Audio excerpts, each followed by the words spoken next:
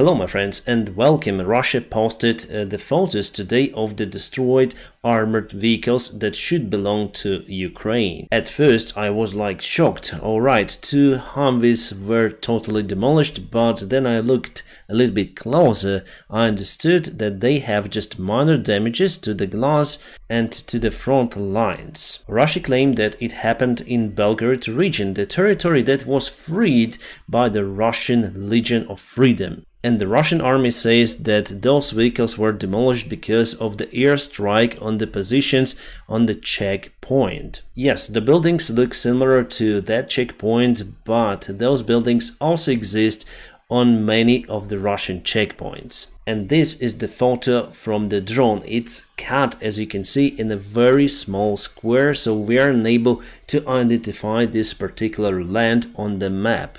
And as you can see, the vehicles are pretty much okay. There is also the other Ukrainian made vehicle as well. Here you can see no gun, nothing. This vehicle is just left somewhere on a dirt road one more cat photo of the Humvee. So according to those, the Russian Legion of Freedom probably was drunk and they performed the drag racing on the dirt road over there and went into the trench that they were building before. Seems like very real scenario, don't you think? What I think happened there is that disinformation from our enemy.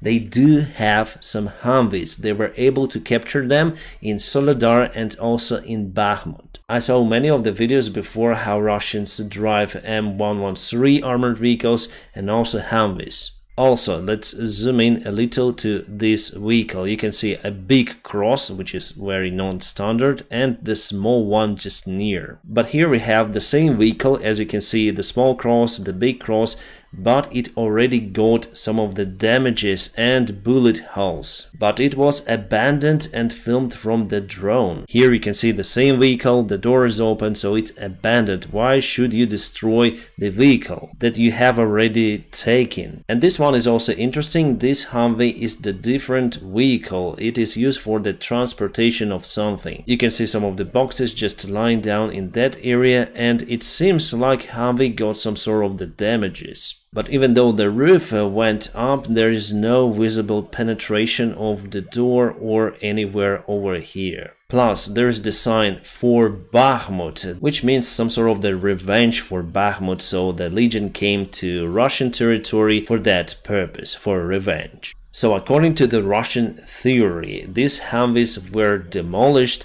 they were on fire, our soldiers left them and later on they took some sort of the paint they came back to the very dangerous place and they painted for Bakhmut on their vehicles. There is the other car very near and you can see the same letters over there as well painted on the car after the fire is over. The only vehicle that Russia might have captured in Belgorod area is this MaxxPro American off-road truck. By the way, here you can see the General Lapin, who was responsible for Liman city defense, but they performed the goodwill gesture as usual. The story doesn't end here with this general, we're gonna see him in the video. So he is really a general. He went to the place to get some photo with American truck. Why he did it?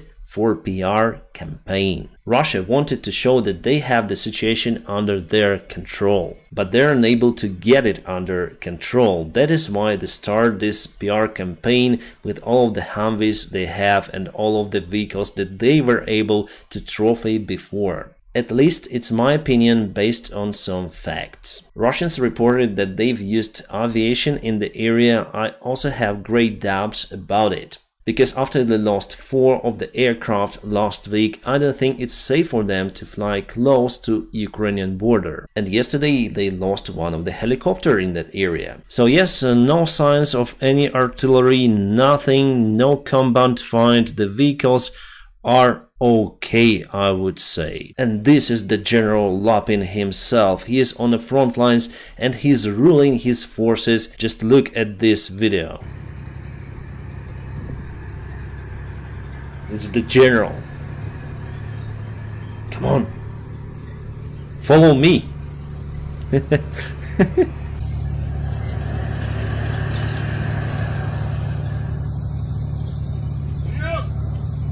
means forward, so General moves ahead of everyone. The vehicle, the armor vehicle, is behind him. He's the true leader like Mel Gibson from the Braveheart or something. Wow, that's great. But that was early morning time, Lapin was asleep, but during the daytime he switched into the berserk mode. Let's watch this video of his. He moves.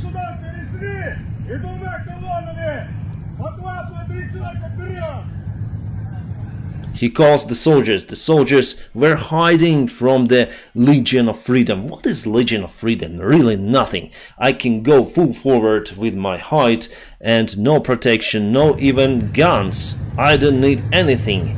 I will destroy them with my look of the brave soldier. You can see, you can see, it's the Soviet flag on his shoulder.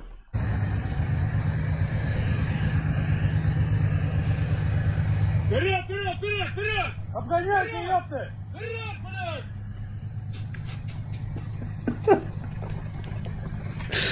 Galliardi! Galliardi!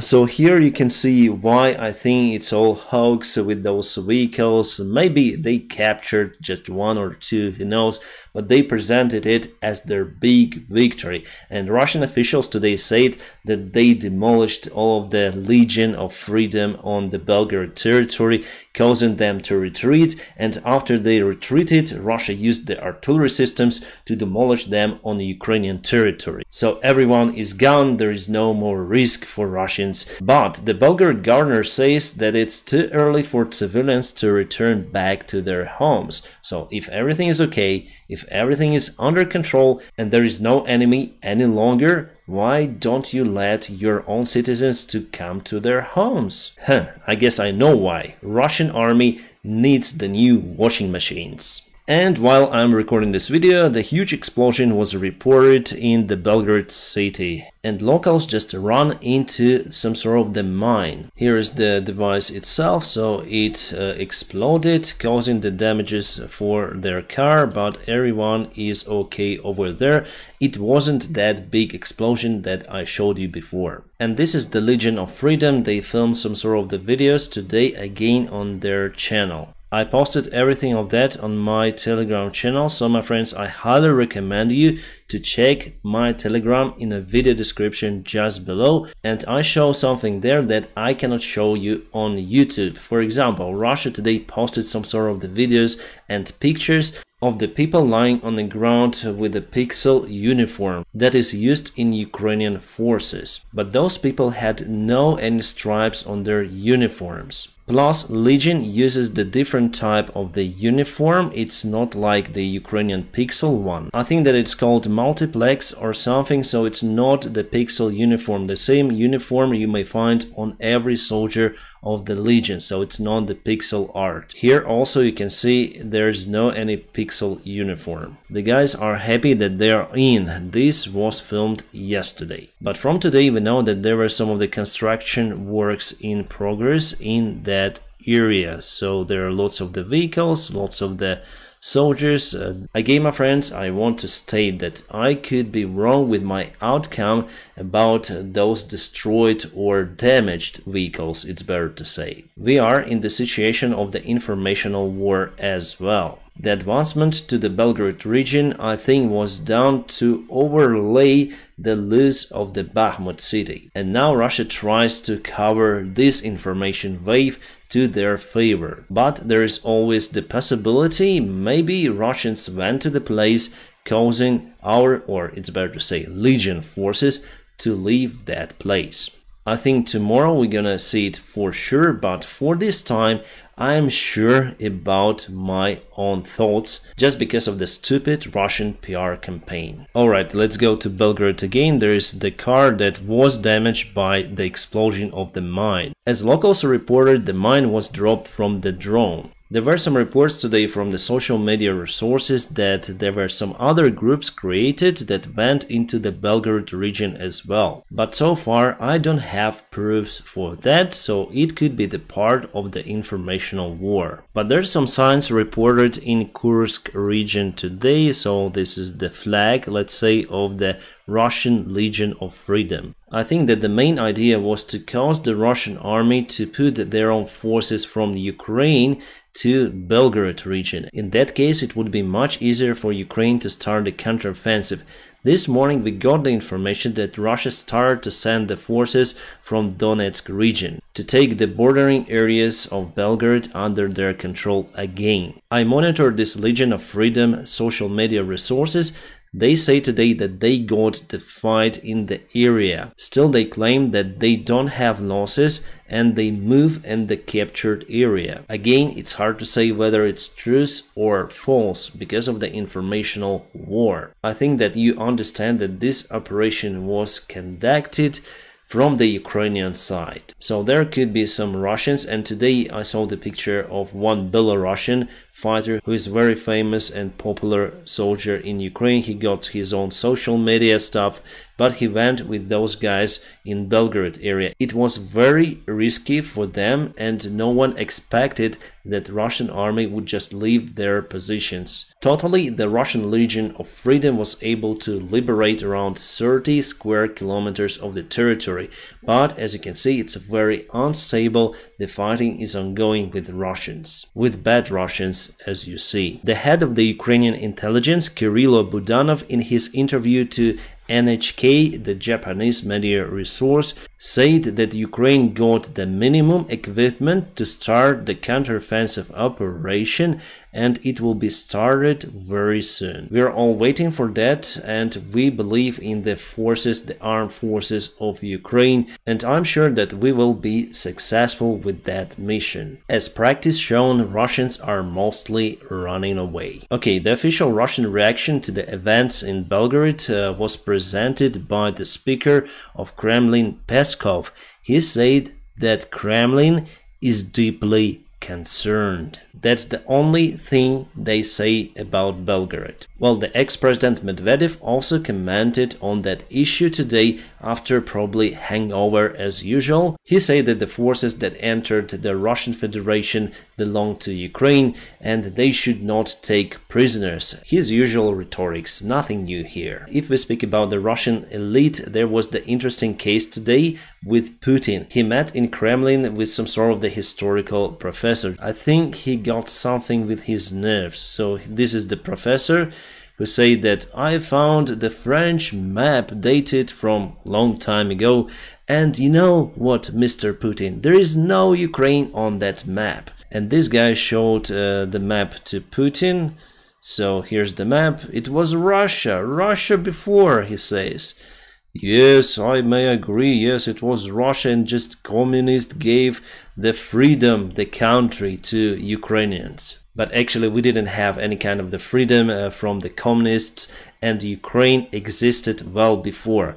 And let's go to that particular map. This one, as you can see, it's very easy to find in internet. This is really a French map that was created by Guillaume Sanson in 17th century. You may find it in the French National Library. It's available online. But here we have this name, hopefully you'll see it, I maybe move a little bit. Uh, so, Ukraine pays de Cossacks, so Ukraine, the country of Cossacks. There is also the Crimean Peninsula that calls Krymsky Tatarsky Krim, that belonged to Tatars by that time. So who is really responsible for the Russian PR? They have hands like this, probably. They cannot do anything. All of the information that they present may easily be checked on the internet. That's why they cut images, they fake, they try to fake it, but finally internet does exist even in Russia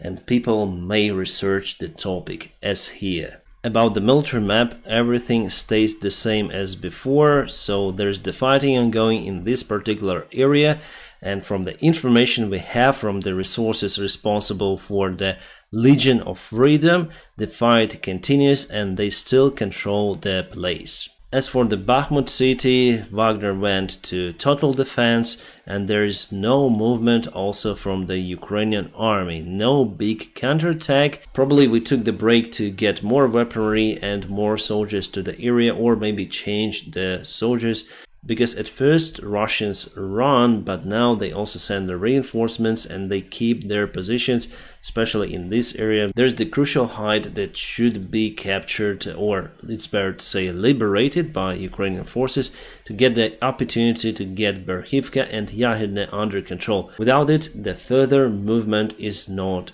possible. And we are all waiting for the possible counterattack on this territory. My friends, don't forget to press the like to this video and also if you want to support my job, there are some links in the video description just below. You may also support me on Patreon or on the sponsorship on this YouTube channel. Thank you so much for your awesome support and your help. I wish you all a peaceful sky wherever you are and have a great time.